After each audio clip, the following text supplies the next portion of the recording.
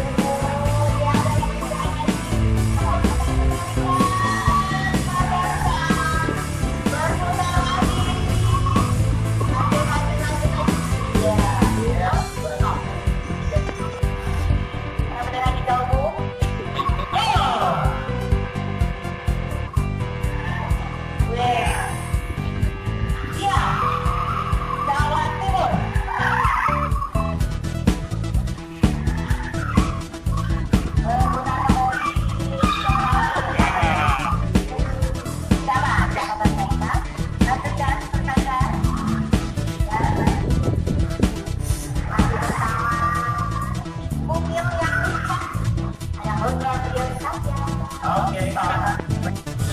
Sampai jumpa.